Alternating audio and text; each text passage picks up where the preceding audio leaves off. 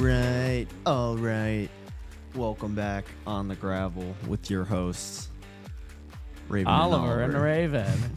Happy Monday. Happy Monday does not does not feel like a Monday. Is yeah, it- this comes It out is on a Monday. Sunday. But this We is are- coming out yeah, on a Monday. That threw me off for a second. Um, Don't you worry, we got it right. it is Sunday today.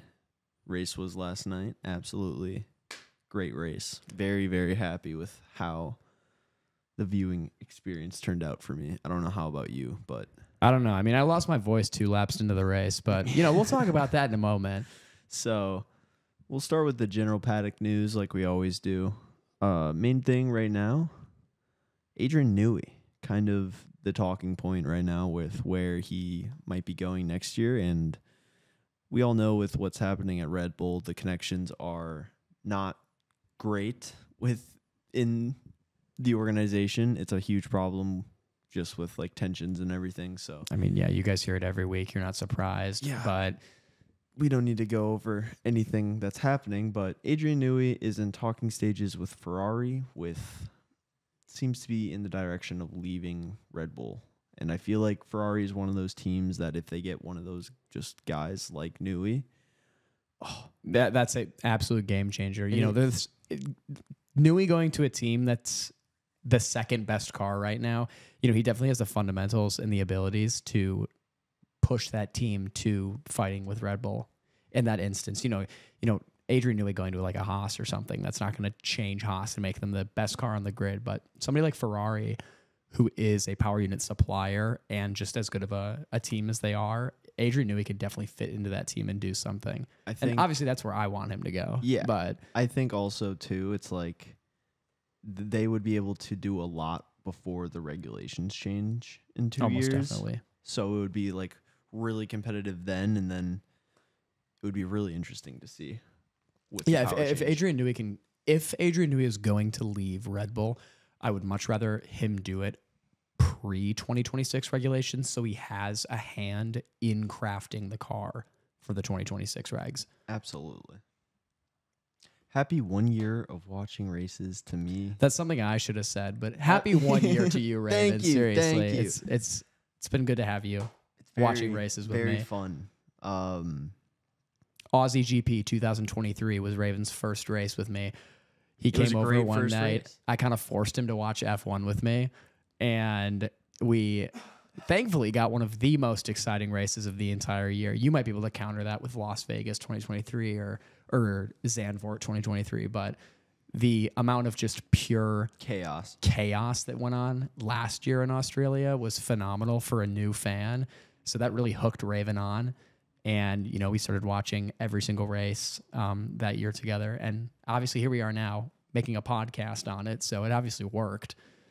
You know, my good graces, they seem to go go ways. So Uh, Ferrari was also the first team this week to roll out a minor upgrade to the car, and I'm not understating when I say minor that this thing was about the size of like a this match. SD card, for example. is a great visual representation Yeah, how big this upgrade box. was. It was just a small wing, like right over the rear uh, diffusers to kind of just give a little more downforce. I feel like, but Yeah, and it work. obviously did.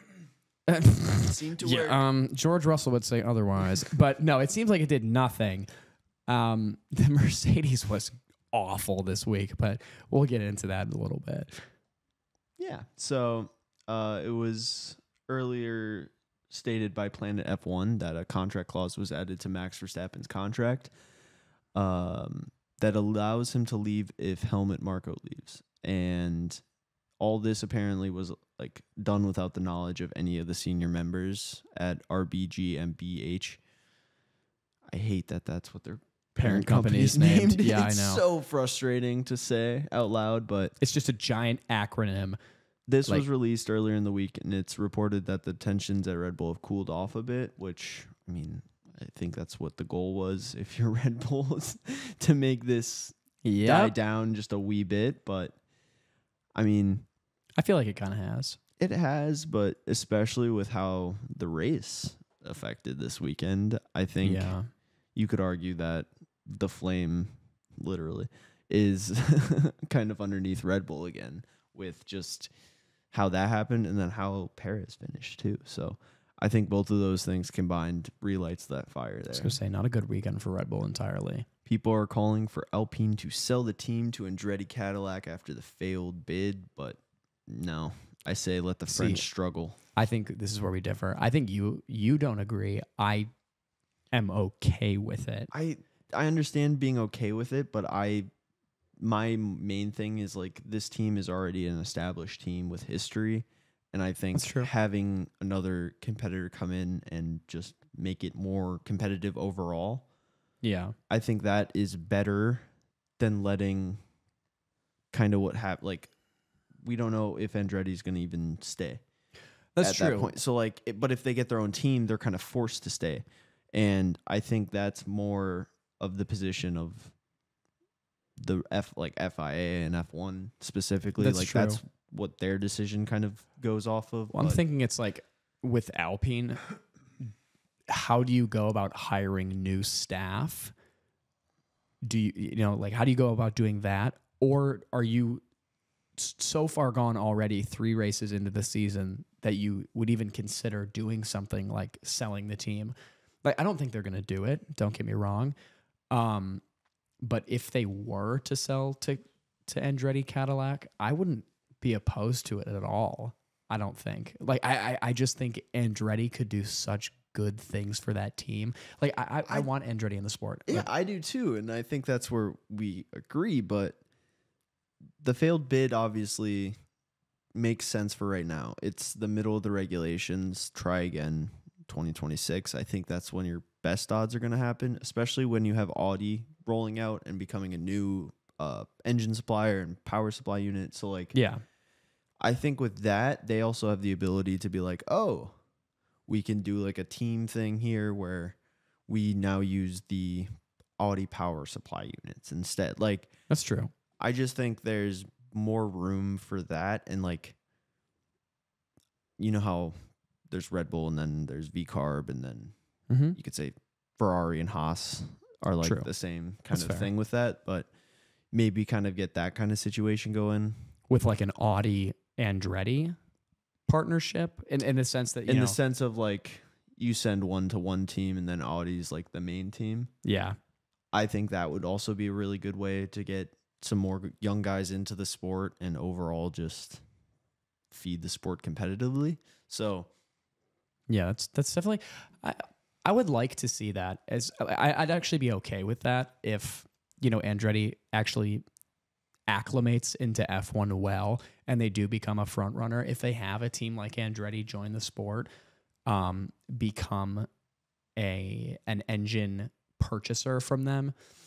Um, if they if Audi wants to, you know, become that Mercedes, that Ferrari, and have that prestigious driver academy where maybe they route drivers through Andretti to get them into the Audi Yeah, car. I think Like, that's a great Yeah, I, route I, for them. I'd be fine with that. I think it it would also But then you you also you have to think what are Andretti's goals because obviously somebody like Mario Andretti wants to be a constructors champion, have a drivers champion under his name. So But that's where I think they're different enough where you can have that fluidity between the two and mm-hmm. you know maybe with one car like say one driver is just like I don't know like mid-season swap with like equal contenders just cuz the Yeah. cars are slightly different. Maybe one's higher drag one's better in the corners so it's like the thing with Alex. I mean he's doing a lot better at Williams compared to his Red Bull I mean, it's his team now. At, at this point, it is his team. After we, After we saw this weekend, yeah, we'll get there. I think it's time to move on from the Alpine point, but it is it's a very interesting thing. I mean, it's it's a lot, but I'll let you take the next point if you want to. Yeah, so Mercedes uh, director of driver development, Jerome D'Ambrosio, he used to drive in F1 for Toro Rosso in 2009, I believe. I know he drove in the 2009 season. Um, I can't remember how long he stayed in F1 for. It might have been 2011, if I want to say correctly. Like 40 races, I believe. yeah, he, it was record. max three seasons, absolute peak three seasons. Um, he's leaving with Lewis this year to Ferrari, and that's you know just another issue Mercedes is having. They're losing so much personnel in that team right now. They get Bono. Yeah, I was gonna say I was gonna. So that's that's wondering. a that's a big thing. does Bono then become George's race engineer, or does he become Fernando. Fernando Alonso. Alonso? I hope Fernando. that would be an exciting duo. Oh, that'd be crazy. But yeah, it's just it's another person that Mercedes have to replace, It's gonna be hard. For and it, it feels like Alpine. Like it, Mercedes feels like a mini Alpine situation kind of thing. A- At least from a personnel standpoint. should have been something we said last week, but news wasn't fast enough. However, four to five episode, episodes ago, we talked about Stake having a lot of troubles with just the sponsorship of Stake in the team. And during the race this weekend, they had to go under the name Kick Sauber because of Australia's strict gambling laws. And, you know, give it to them for having online gambling laws because I was gonna say full the full team name is Stake F1 Team Kick Sauber, um, and to have to strip off half of the team name for half of the races, that obviously leads to concern. Like we we, we talked it's a sponsorship issue at the end of the day. exactly, and we talked about this with the Swiss government and how they see um, their own online gambling laws, where it's obviously this translate translates over to a lot of different countries. How much money is Stake really paying you to have that title title sponsorship, where you're willing to cut them out for half to have of the races? Just do it. Yeah, Yeah. that's a very good point. Where I think like I don't know the legality of it, and hopefully one day we can talk to someone who is a sponsor. But at this point in time, we can only speculate. Where I feel like as a sponsor, that doesn't make you happy. If I don't. the one thing you're paying for is you know viewability of the car it's like kind of an issue with the red bull sponsors right now where their mm-hmm. car is just never on screen besides the first and last lap so it, it just it's like okay do i get my money back for this or next year do we get a pay cut or there's just so many aspects of it that really just change kind of how you go about it in a way but do you make kick the main and then you do like See, I feel like Kick is so much less. Um, oh, what's the word? It's a streaming platform It's I was it's, So- it's controversial. Yeah. It's so much less controversial, there's no i mean and you can still give Stake almost the exact same amount of actual um, land yeah. on the car. Like you, you don't have to reduce how much um, you don't have to stake swip- sponsorship swip- is on the car. switch the um god i can't think of the word What side pod sponsor? No, like main just- sponsor? well yeah but like what's the livery that's the word i'm yeah, thinking yeah. of. You don't have to change the livery at all. So it's just one of those things where it's like it's a co- all contract and business sided. So we don't really know that, sadly, as fans. We kind of just have but- to sit on and watch. Yeah, but we're working on getting some guests. Hopefully, they can let us inside, but probably not. Yeah, we can inside with them. Um, I have a sub point on Kick Sauber that Valtteri Bottas has pencil legs. he did an insanely cool commercial with um, Uber car share. Yeah, it was great. It was a great commercial. He was dressed in this color exactly, I think. But sorry for your audio only listeners. I'm wearing a light blue shirt, but he is just built with pencil legs and it is the epitome of an F1 driver and I'm Yeah. it's like, oh boy. But it was but honestly, honestly, like that to me, that commercial was Super Bowl commercial esque. Yeah. And it, I love the timing of it, where the joke of this is Valtteri's home race, going Oh, yeah. on for years since he's been at Mercedes, I believe, Mhm. and just be I mean his girlfriend is Australian as well. Like so that checks out. uh, like Australia is kind of like a second home for Valtteri. So I, I'm not surprised that a lot of people call this his home race. which I think is great. I think is I think, absolutely I think great. so nice. He, he feels so good around here too. Like he's had Here? success around here in the We are in Chicago, my guy. sorry. he's had a lot of success in Australia in the past. So it's I mean it's been a happy hunting ground for him. So I'm not surprised. It's crazy. he loves it there. FIA investigation news has led to some powerful claims with the FIA president Ben Sulayem. Lewis Hamilton stated in an article somewhere um, that he has never had his confidence, which It's a big point if it's Lewis if, Hamilton. I was gonna say if it's it. Lewis saying it, you know, there's going to be a lot of other people that kind of have this viewpoint. I think universally on the grid, I would say probably majority. Uh, Lewis actually has the backing and name to speak out more than a lot of other Because if people a guy do. like Zhou did it, no one's gonna. Everyone's just gonna start ripping him. yeah, exactly. But like, but the amount of people that respect Lewis Lewis, and are like, Lewis is my role model. I I stand whatever he I says. I hate you now, Ben. it's like okay, no, it's it's rough. I think overall, it's not great. Just It's not a good look. It's, not, a good look, but it's not a great relationship between FIA and F1 if one of them has if the drivers of one company don't have faith in the governing body. It's Mhm. it becomes this issue where I feel like a lot of American sports have, you know, like player um contracts with like uh for like player rights and all that stuff. Oh yes, Um media contracts and all that, but like it gives in a way the p- players more power or alternating power, Yeah. but you don't have that in F1.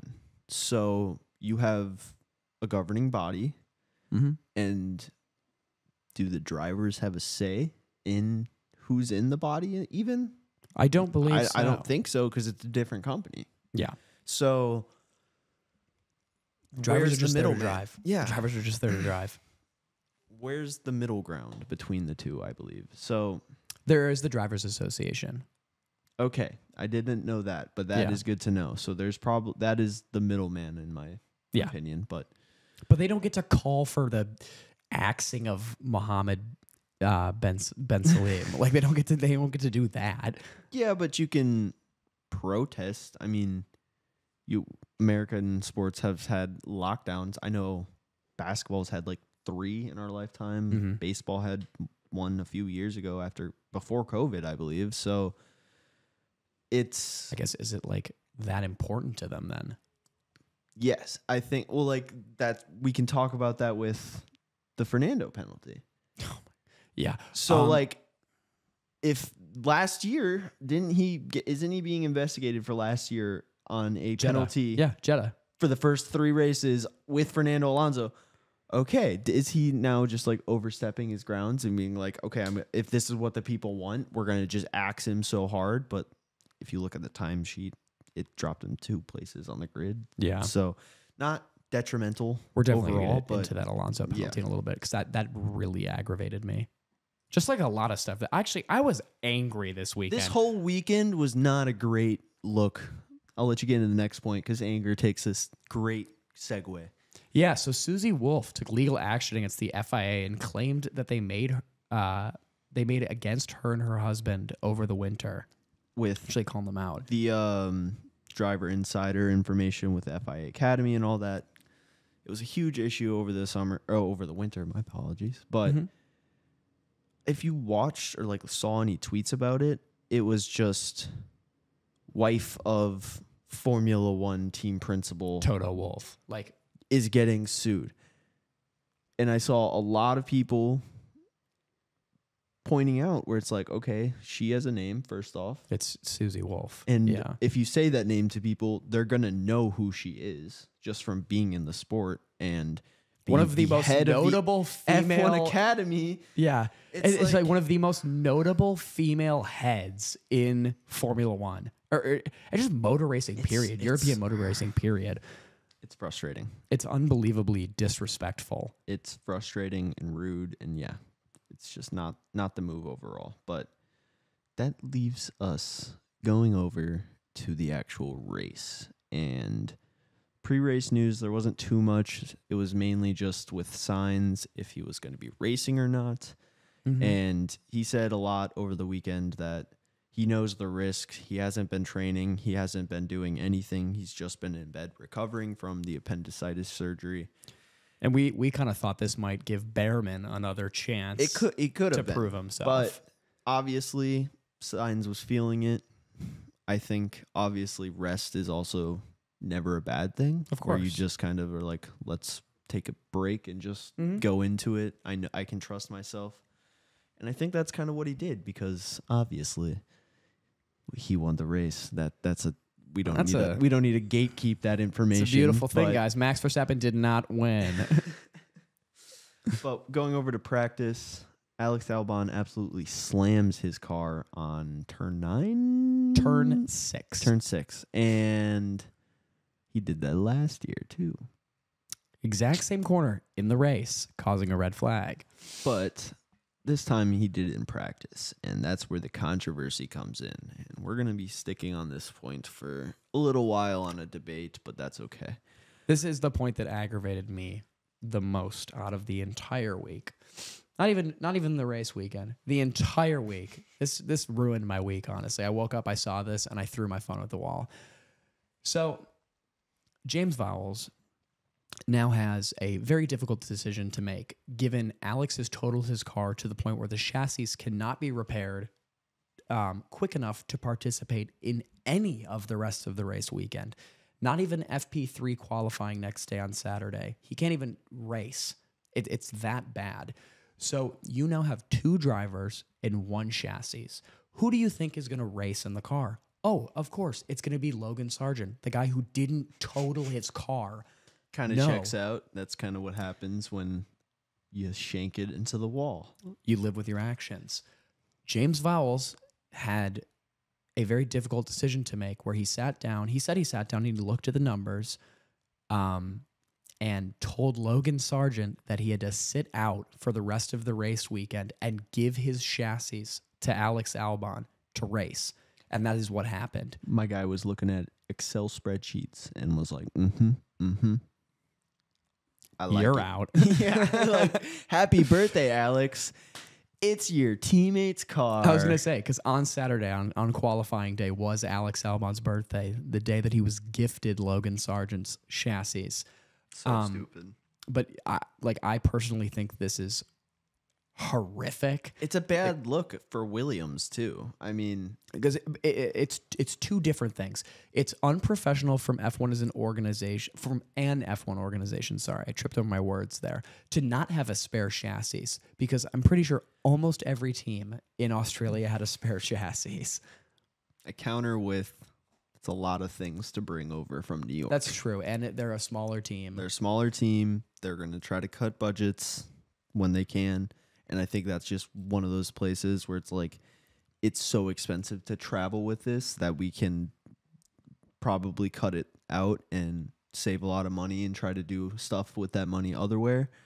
So I think the points you're making are all true. And yeah, it's it's not fair to Logan Sargeant because you just essentially said I was gonna say it puts we don't bad- trust you. Yeah, it puts a bad taste in both Albon and Sargeant's mouth because now if you are Logan Sargeant, you're just waiting for Alex Albon to crash and take your chassis again. I mean, Um, and then and then for Alex Albon, it's wow, I have so much pressure on me because um, if I crash, I'm stealing my teammate's car and I'm still expected to perform again. Like Alex, you know, is now being expected to perform at the absolute highest level every single race to the point where they're willing to sacrifice the other driver for his own driving capabilities. because of the numbers, like because the numbers. we're not the And Oakland James A's. Vowles, James Vowles didn't even say that it was due to anything that happened last year. He said it was specifically off the numbers of the first two races of the season.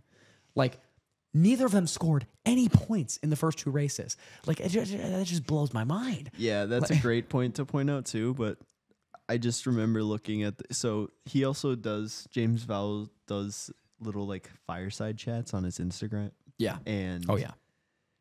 the one thing I just remember everyone saying, it's like, yeah, this is great. We get like an insider look to kind of what's he's thinking and what he's actually doing.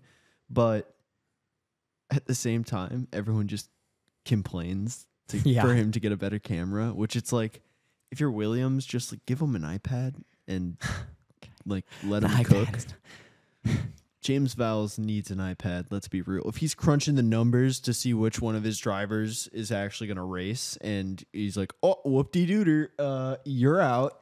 What would you do? Like- you think? Do you think he's on the Ward family home 1995 Christmas video camera? like, I think he might be on the same, you know, handy cam Sony cam that we're on, that's but fair. He has good lighting though. You can't get you can't get him for he that. has one light above us. We have two. But I I don't want to I don't want to tangent away from the bigger issue with James Vowles. But I mean, yeah. So stealing another driver's chassis to cover for the mistake of another driver, I think is like uh, t- like to me, sure, performance is everything. You're you're trying to score every single point possible. But when neither of them have scored any points at all this season, I think it is completely unjust and unfair and untrusting of Logan of Logan Sargeant to steal his chassis from him. It, it- it's you as Logan Sargeant, you have to think, why am I even racing at all now?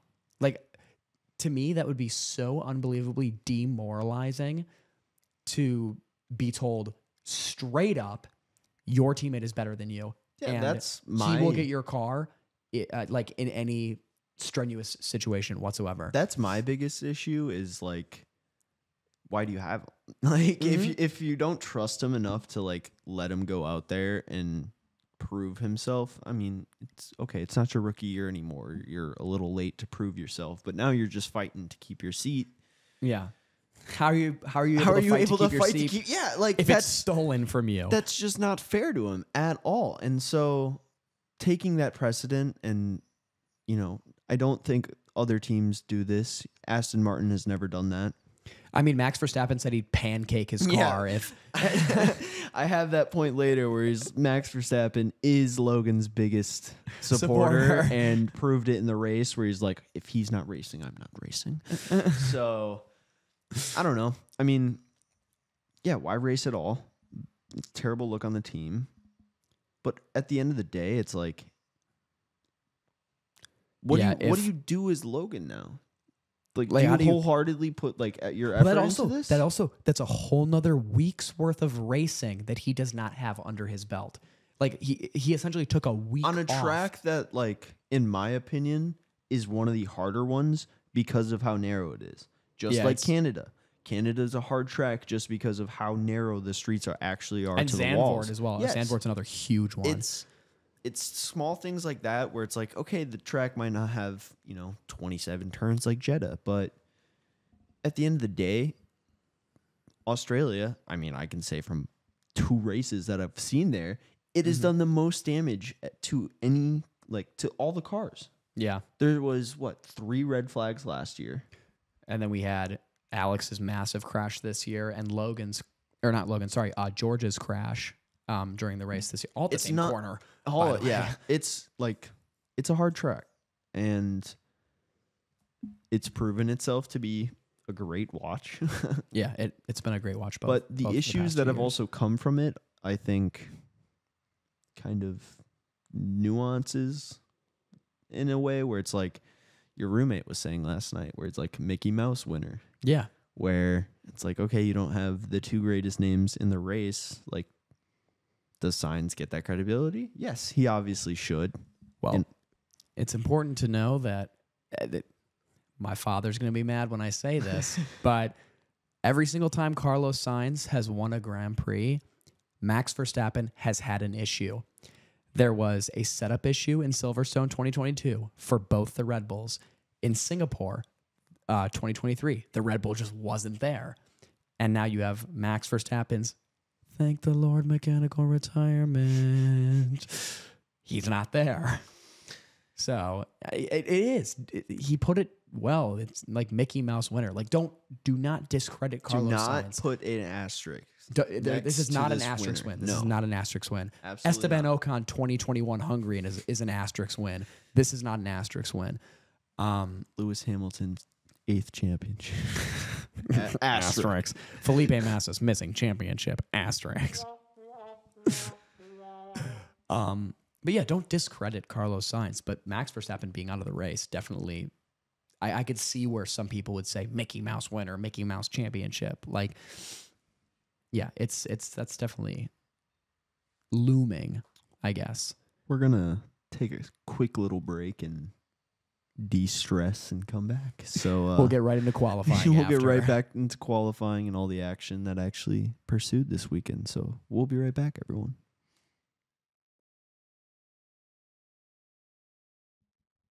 All right. Welcome back. back.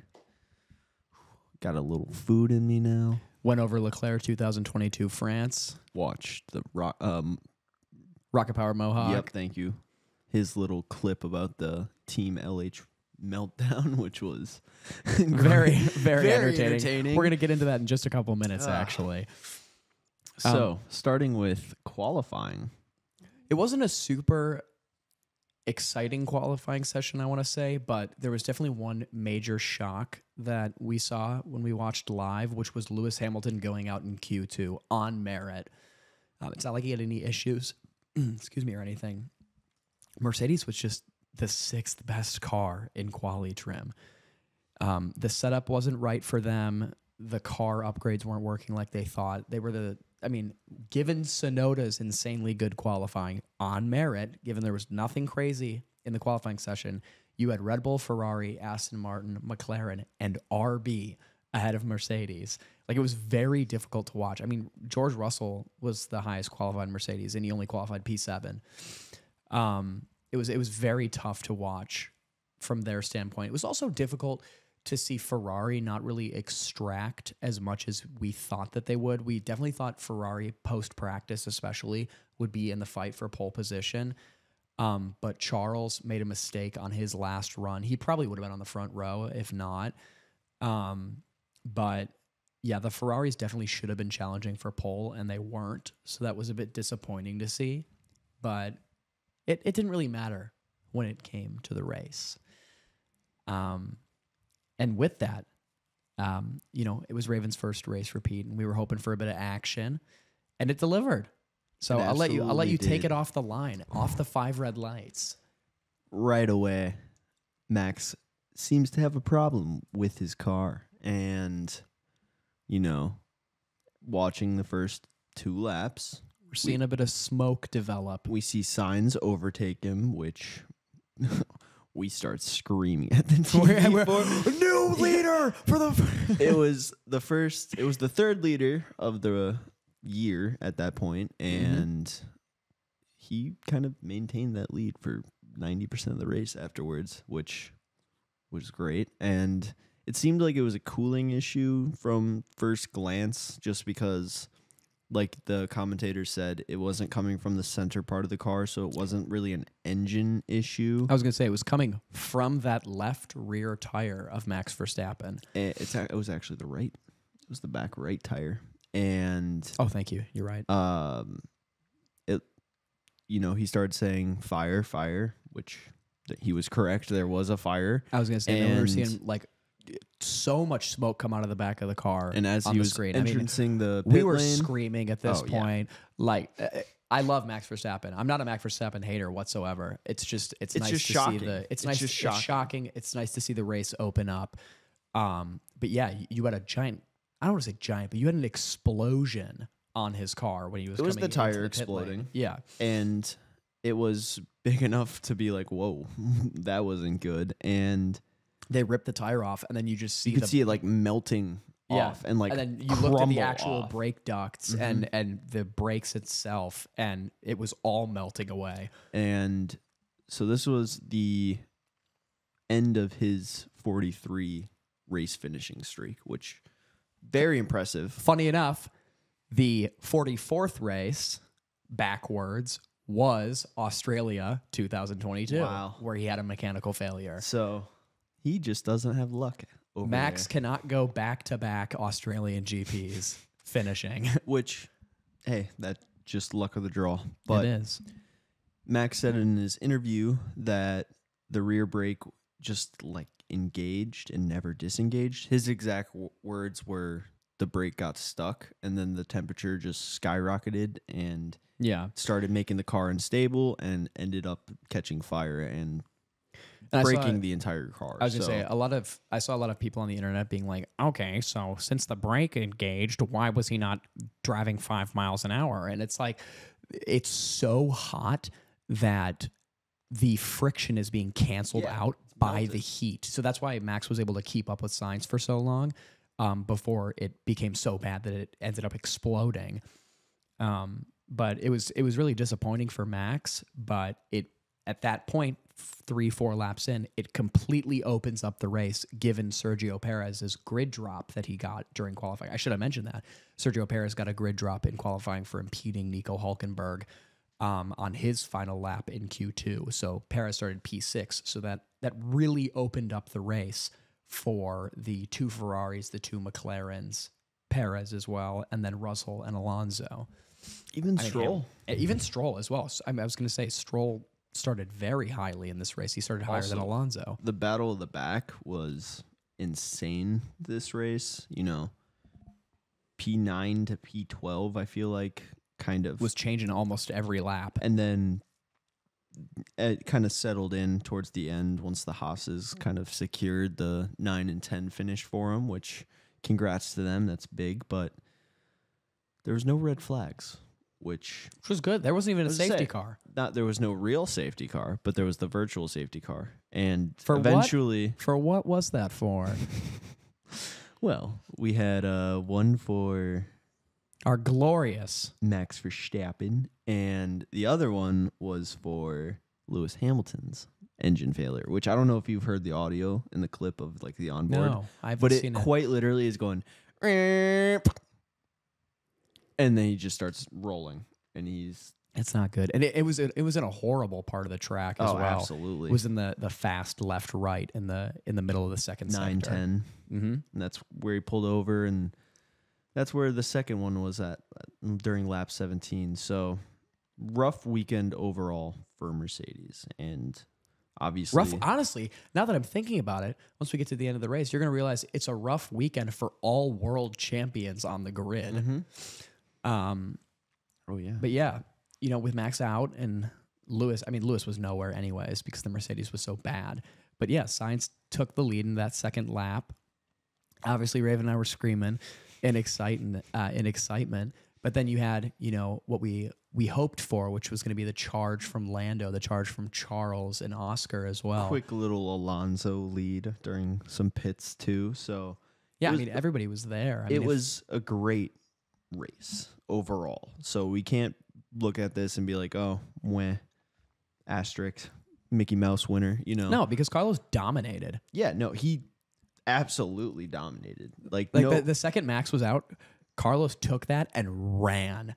it, I believe it was like lap 12, I want to say, where they're like, okay, Sainz plan A. Mhm. And they never looked back from that. So, I mean, at one at one point, Carlos had like a nine second lead to Mhm. Charles in P two. Like, what, it, what he said at the end, though, was was sweet when he crossed the lap, where he's like, tell Carlos to come close to so we can finish like I was gonna say, and yeah. two. Carlos but then I immediately down. looked at you and was like, "Cool, he can't catch up. It's virtual safety car. There's delta Oh yeah, the virtual safety Like, car at the end he can't race. speed up or he's gonna get a penalty." So I think that was all just a ploy to get Oscar and Lando on the podium instead. But nah. um, yeah, I mean, it's just overall it was kind of weird in some aspects of like team strategy. Yeah. You had the McLarens during like la- mid 20s. I think it was right after Oscar pitted for the first time yep. where They let Lando by. Yeah. Since Lando was on a different strategy. You had uh, Ferrari was kind of just like acceptance. Carlos is in the lead. He's winning the race. Charles, do your own thing. but it's like okay, I understand that I believe there was like 5 seconds at that point ended up at like 6 or 7. Mm-hmm. I think it was a 9 at one point. Um but why switch them? And I understand like tire strategy and just Lando had the better tire strategy at the end of the day. Yeah.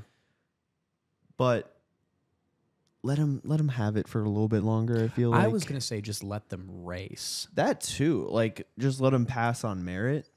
But and I, I, guess feel it's like because they, they definitely wasn't wanted to, they wanted that- to protect from Perez. yeah, That, that's what that it was, was, a huge thing too. That but, was one- but then it was like once Perez overtook Russell, his pace disappeared.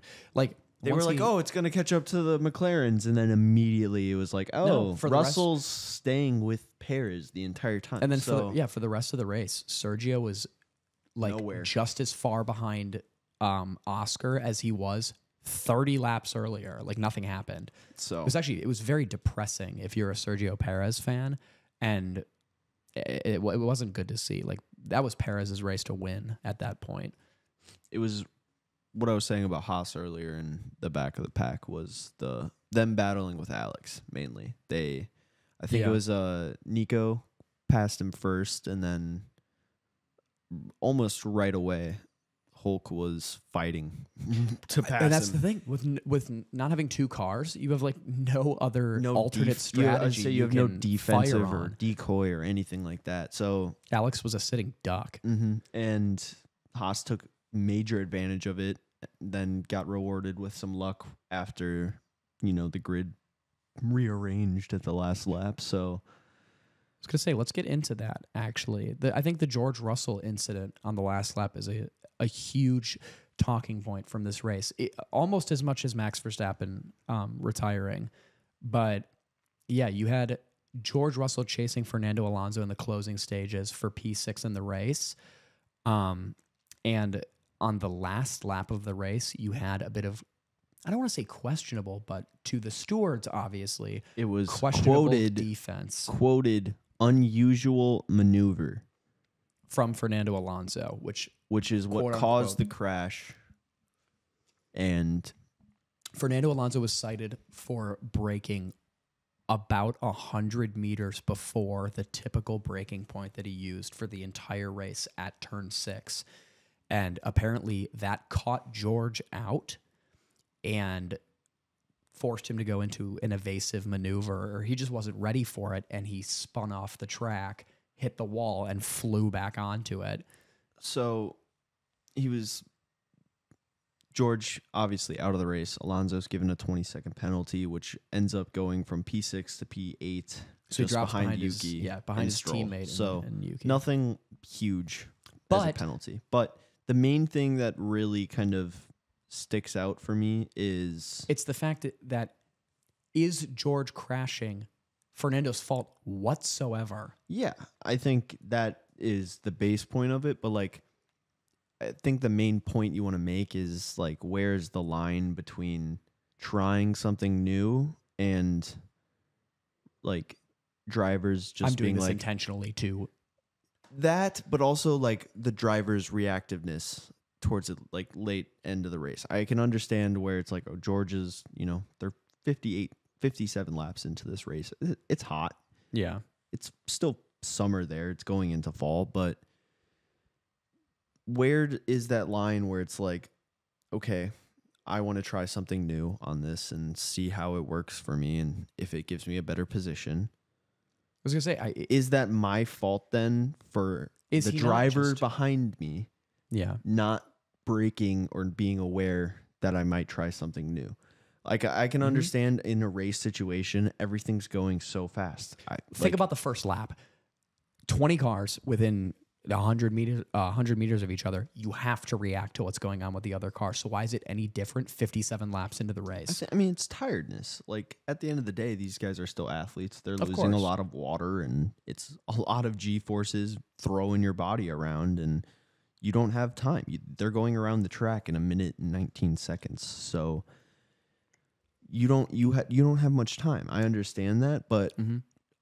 I don't personally think that Alonso should be given this penalty just a because. 20 second time penalty. So funny enough, what it was was he was given a drive-through penalty, but since it was after the the race, it was converted to 20 seconds. But a drive-through penalty for that incident even is then, incredible. it's like So if I made a defensive maneuver into that corner, am I st- and he crashes? Is that my fault now?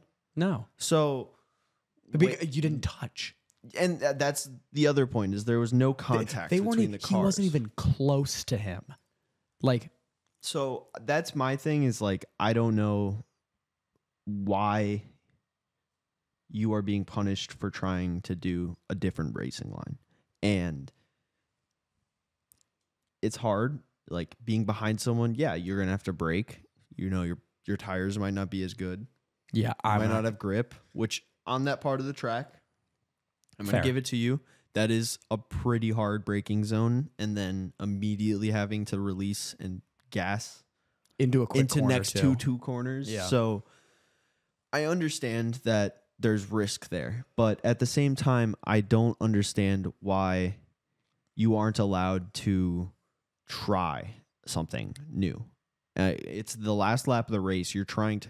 We saw this at uh, Brazil at the end of last year, with where Alonso and Perez were battling out for P three Yep. they were not doing the diff they were doing different lines every single like those last eight laps i want to say Yeah. each one of them was a different single line so Forcing defensive moves, going on attacking so there's from the bat- outside, there's the a inside. battling aspect but george russell being like yeah that's his fault when you're not in a like in an opportunity there's no gap first off ayrton senna He's not there's no- overtaking into that corner no whatsoever. So why does it matter to like give him this huge penalty Yep. when Yep. it's not really his fault at the end of the day? It's not. And George Russell's getting a lot of flack on social media for it because he blamed Fernando. I mean, props to them not blaming them on during the race, but like yeah. it coming out and being like, yeah, that's Lando's fault. I think you should be You like, mean okay, Alonso's fault. yes, sorry, Alonso's fault. Um, I think you have to kind of look at yourself and be like, I think I definitely played a part of that too, where I just didn't react right and Yeah. did the wrong thing and crashed my car. And you know, luckily, obviously, he's safe and okay, but that was a scary crash, man. Exactly. So But hey, it's I mean, it's rough. I think it's it's important to bring it back to the the highlight of the weekend, which was I want to make the one quick point was Yeah. was he trying to kill his future teammate so he could, so he could be the number one driver? Dude, he'll be the number one driver there just by performance. Let's be real. But speaking Shout- of performance, Shout out to Lance Stroll too. He had a good race, he did. good clean race. That's what that's what you're paying him for. I'm proud of him. But I wanted to. I Hopefully want to. his dad is too. Hey He's just driving there for fun, bro. But yeah, no, serious, serious congrats to Carlos and his performance this weekend. Because you you have to think he had no training the past few weeks um, with his appendicitis surgery. Uh, surgery. So to get back in and win a race immediately is incredible. Yeah. Um, you have to- Counterpoint to that, yeah. Perez finishing P5 with your teammate out obviously is a major dent in your reputation, I would say. Especially that- where you're that- when you're kind of in the hot seat already for your seat in the next year, 2 years. When Max was in the pits on lap four, that race was on a platter for Sergio. Absolutely. Yeah. Absolutely. And you can say strategy, you can say whatever you want. I I think it was his pace. His pace period was just not there. yeah, I mean P5, okay. There was still four better cars, two better teams. Yeah. Take your losses, bro. But where do you where does he go? Genuinely. Where does he just done? Retire spend time with your family? Yes. Don't cheat on your wife again. no Monaco yacht parties.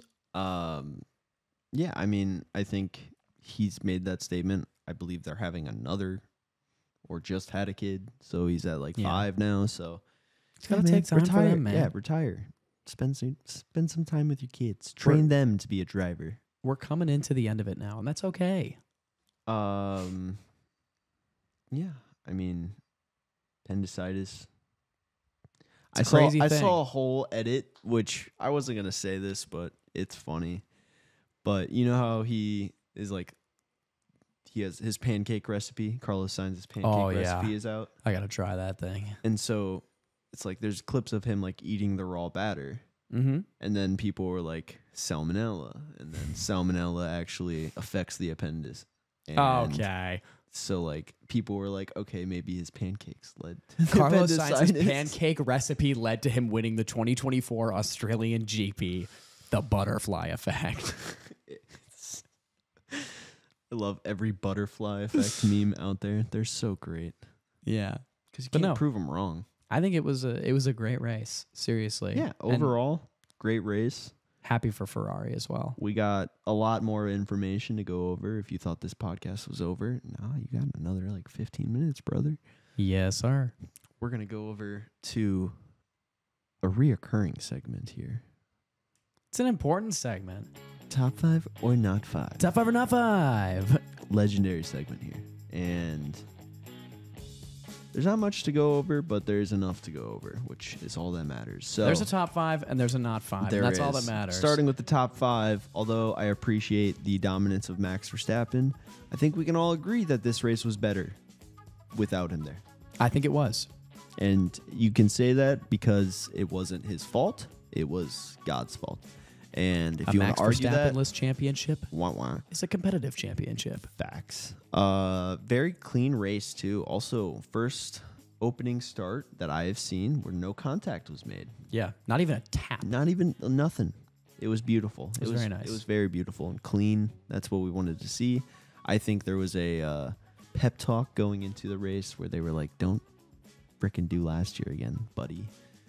Another important point: Haas scoring even cleaner points than they did last week. Absolute money. You know, if you thought them. that if you thought that crazy Kevin Magnussen defense in Saudi Arabia was worthy of a point, how about just two cars racing, racing in the points on merit? absolutely, Like you can't be mad at them. it's great.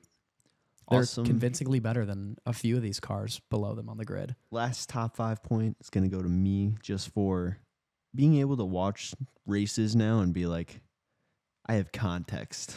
He's got everything, This and that's week, what matters. Guys, he has context clues from last year.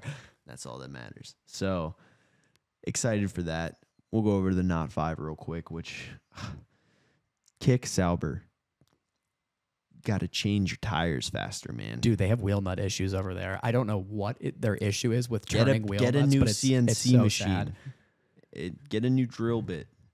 Work it out, man. I don't know what you need to do. It's always Valtteri Bottas, man. If he goes Dude, into the pits, it's- he's screwed into a long pit every stop. time, every time, and then they screwed over Zhou too, just because they're like, Mhm. "Oh, uh, you you didn't do anything wrong. We'll do Hey, something equal wrong rights, for equal you." fights, man. Uh, Uh, point number two is just Alpine. I mean, I think that's one. That one's pretty there was a uh, five second penalty for Pierre Gasly. Pierre Gasly, I will say this is a top five point. Actually, we probably should have put this in there and made a top six for this week. Pierre Gasly is no longer 21st in a 20 driver championship. That is now Logan Sargeant. but he didn't race this week. So, caveat: he's still twentieth, I think, in my opinion. Oh, so you just forgot Oliver Bearman existed. All right. Oliver Bearman gets the asterisk. yeah, he gets an asterisk. Williams, uh, you get the third point for the Will, uh, for the reasons foretold. That is what I was trying to say. Uh, the next one is just for Crofty. I'm pretty sure he has seen those Instagram Memes. He- no, it's just the Instagram pages where they're just all racing commentaries. Whenever they but just say very suspicious sexual dialogue. Yeah, very sexual oriented dialogue. Um, but Crofty was saying that Stroll was edging three times, which he knows how to reach those younger viewers and Okay. to get those laughs. But I was reading online, and it was like everyone knew. They were like, "I heard this." And I knew this was going to be on this page. about we're gonna 30 rock up to. Suzuka two weeks from now, and Crofty is gonna be goon maxing when he's doing oh, the. It's it's so funny. he has to know. bad. He has to know. I am a hundred percent in the disbelief that he does not like. He cannot just be like, "Oh, I, this is funny." I'm just I- gonna say edging three times. Hey, David Croft, he's just trying to fit in, man. And last point that's pretty important, you got Osama bin Russell, you know, trying to steal Ferrari's thunder again. There's there's a uh, a funny uh, trend that in Carlos Sainz victories, George Russell likes to just throw it into the wall on the last lap. I will say though, Singapore wasn't his fault because Lando pushed the wall like a centimeter into the wind. I mean, the wall just turned it's into not me. it's not his fault. So it's all good. It's all good. But this Uh, time, this this time- time, no. this time it was Alonso's fault. The dirty air just turned into him. turbulence. I'll Oh you- yeah, we'll take your point over. that was top five or not five. Now I'm going to give you my F2 race recap for this week. It's going to be one of the last ones for a little bit, as Formula 2 will not be racing in Japan. But it was a very exciting qualifying session in Formula 2 this week, with pole being traded a couple times in the closing stages. Um, Kimi Antonelli was holding on to it for a while, which a lot of people were happy to see. And then Dennis Hauger came in um, at the very end and nipped it off of him. Um, him having been booted from the Red Bull Driver Academy in this offseason. It was very nice to see that he's he's bouncing back well. Um, so with this, Roman Stanek uh, qualified P10, so he started on pole for the sprint race, uh, given they do the reverse grid top tens. So Stanek started on pole. There was a very interesting and crazy crash. Raven and I both watched this together, actually, with uh, Isaac Hadjar having started P4, I believe. Oh, sorry. Um, he started P3. Uh, he had cut across um, Pepe Marti and Gabriel Bortoleto, who both also had really good starts. Um, but he cut across them um, with how good of a start he had and threw the both of them into the pit wall, um, which was it, was just a very big, unusual crash. I mean, it was a crash five seconds into the race. Like they they were nowhere near the first corner yet. Um, it was just on the straight. Very weird to see. Um, kind of scary as well if you're you know somebody in the pit lane. Um, but it was a very close race with P2 being contested by five drivers at one point, which was really crazy. Um, it ended with Kimi Antonelli and Richard Verschoor both spinning on their own. And then you had Paul Aron uh, running into Verschoor after that. So the kids are obviously they're still learning how to race wheel to wheel, and hey, hey, that's important. You the need- kids you are need- still learning. It's okay. Give them a few years. It's okay. Hadjar eventually did uh, go on to win this race on track, but he was later after the race, about an hour or two after, given a 10 second time penalty for that first lap. Um, not even first corner, but drag um, crash that he that he created off the line. Um, so this promoted Stanek, who started on sprint race pole, to the win, and it's his first win in F2. So congrats to Roman Stanek. It's his second season, so he's he's getting up to grips now. Um, and then the feature race obviously started with um, Dennis Hauger on pole, um, but it started clean with uh, Hauger, Antonelli, and Kush Maini trading the lead over the first few laps for a while. And Hauger then, after the first round of pit stops, came out of the pits on very cold tires and just smacked into the wall at turn six, just like Alex Albon and George Russell. It, it, it is a very difficult set Corner. of corners. It's a hard one. corner and just set of corners to get I right. definitely sent it into the wall there. Because if, if I mean the problem is if you send it off that corner at all, you're into a gravel trap and you're essentially being But then the hardest part about that is the fact, like, well, you can't correct the car anymore. You're in a, you're in the gravel. You're just sliding into the but wall. it leads straight into a straightaway mm-hmm. where if you don't get speed from that corner, any car behind you is getting by you. Look, and it, it repels you back onto the track Mhm. into those fast cars, like with it's George. such yeah, it's it's a risky risky corner, but but yeah, that happened. They put the safety car out for Dennis Hauger's crash. It's sad that he he um, crashed from pole position, but that happens. Um, you had Isaac Hadjar, who had been disqualified in the last race. He pitted under the safety car, saving him an insane amount of time that ended up leading to him winning the race, given it was such a close fought race that that safety car timing um, benefited him perfectly. Um, he won the race from Paul Aron and Zane Maloney. And now you have Maloney leading the championship by 15 points on 62 from Paul Aron on 47.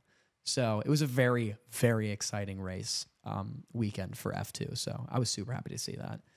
we got no rally this week, but we got Kenya next week, so I'm something to I'm talk super about. I'm watch actually that gonna, live. I'm gonna I'm gonna watch watch that that live. So very exciting for that.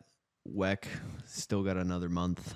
Yeah. Sad, but we'll see the cars go fast soon. Brother. Nothing in the IndyCar world either. Nothing in IndyCar. And then we get to MotoGP, which I know you did not know was happening, but I did as Yeah, Raven spent the night last night at my apartment, and I, you know, obviously I, I was sleeping. Raven got up super early. I woke up at six o'clock just because the couch is not that comfortable and on what are you YouTube gonna do? TV. We had beautiful access to the MotoGP. Oh race no, no, no, no, no, no. It was not YouTube TV. I'm gonna give the credit to HBO Max because What? yeah.